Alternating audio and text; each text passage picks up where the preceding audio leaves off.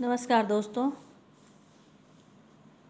मैं रीना सिंह, आज आप लोगों के लिए भारतीय संविधान के विषय में कुछ बताने आई हूँ। सबसे पहले हम लोग जानेंगे कि संविधान किसे कहते हैं। संविधान क्या है? किसी देश की संविधान को चलाने के लिए जिस नियम या कानून की आवश्यकता होती है, उसे ही संविधान कहा जाता है। अर्थात जिस नियम एवं कानून कानून के द्वारा जो देश चलाया जाता है, वह संविधान होता है। संविधान किसी देश का सर्वोच्च कानून होता है। अब भारतीय संविधान के विषय में जानेंगे कि भारतीय संविधान को बनाने में कितना समय लगा। तो भारतीय संविधान को बनाने में दो वर्ष, ग्यारह महीना और अठारह दिन लगा। इसे तैयार करने के लिए दो सौ चौरासी सदस्यों ने भाग लिया था। भारतीय संविधान को लागू कब किया गया? तो भारतीय संविधान को 26 जनवरी 1950 को लागू किया गया।